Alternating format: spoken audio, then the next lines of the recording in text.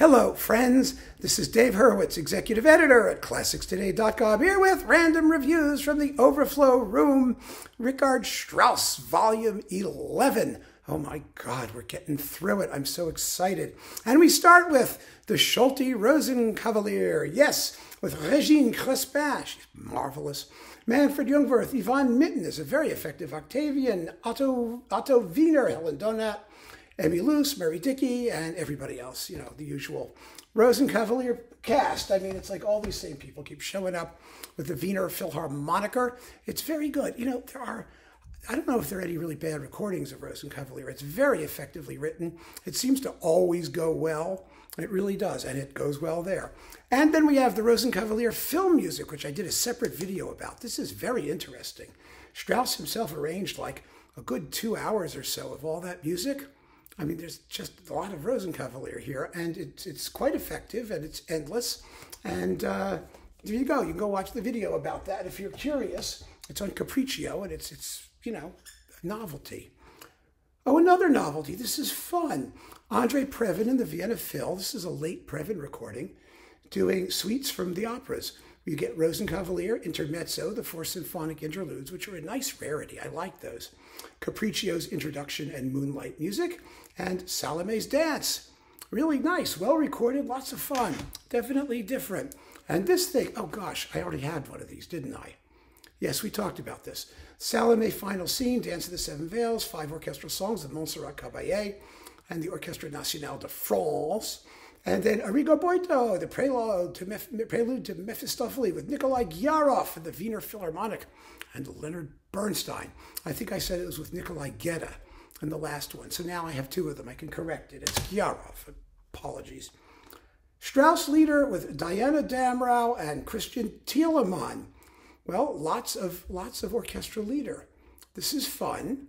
Wow, when was the last time I heard this? A while ago. This is on the Munich Philharmonic and Virgin Classics, and goodness gracious, when did that come out? I have to tell you, I don't remember it at all. I have no memory of it whatsoever. I'm going to put this aside and go listen to it later because I just don't remember having heard it. It could be that I got it and just put it away because some of these recordings, you know, I'm not the opera guy at Classics today. That's Bob Levine, and he's fabulous. And, and he recommends things, and I get them. And sometimes I get them, and I'm busy with other stuff, and I forget about them. This is one of them. You tell me how it is. I can't wait to hear it. It's an old, yes, it was on Virgin Classics. See that? The Virgin Classics thing? Does it go that way? I don't know. There you go. Wow. Oh, look. Capriccio with Karl Böhm. We talked about this in the last one.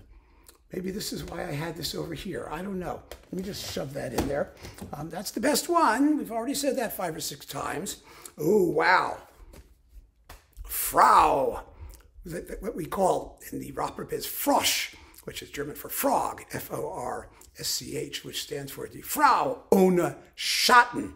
Get it? F R is Frau, O is ohne, and S C H is Schatten. And this is the Sawallisch one. Now, it's very interesting. This one came out at the same time as the Solti one. And rumor has it that the Solti one, they had this one in the control room and they were playing it and comparing it so they could make theirs sound better or something like that. It's quite good. It's quite good. It's got René Kollo, Cheryl Studer, Hanna Schwarz, Andreas Schmidt, um, Ute Vinzing, Alfred Muff, and, and other like famous people all frowing around. I mean, Frau was like a total rarity until recently. It was so big and so glitzy and so glamorous that no one could tolerate it. And then all of a sudden, it made a comeback and it got recorded multiple times. It has four or five new recordings like in digital, which is like astonishing. And it's maybe Strauss's greatest opera, maybe his greatest work. Who knows? Salome! Yay! With Montserrat Caballé. This is one of the great Salomes. And Eric Leinsdorf, Sherrill Milnes, Richard Lewis, Regina Resnik, James King. Really, really first class. And Caballé is fantastic. It was a role that she never sang on stage for, I think, obvious reasons, but she sounds gorgeous. Oh my God, it's beautiful. And she really throws herself into the part. It's a real, real sleeper Salome for people who, and also in the Caballé discography. She was wonderful, absolutely wonderful. So let's just shove those up there. And last but not least for this rather brief, brief thing, because most of them are operas, and some of them I've talked about already. This is the historic Frau, the stereo Karl Böhm classic Vienna cast. It's cut. It's cut in bits, but the cuts aren't huge. I mean, it's still three hours and 15 minutes long, 195 minutes and 91 seconds. That's long. And you've got you've got Hans Hopf, Leni Rysanek, Elisabeth Höngen, Paul Schöffler, Christel Goltz as the, as the Frau um, in question, Kurt Böhme. I mean, really a wonderful ensemble cast. They'd done it at the Vienna Opera. They donated their services because Decca never thought it was going to make any money. It sounds just terrific, and it is a fantastic performance. A real labor of love and one that belongs in every Strauss collection. Hands down.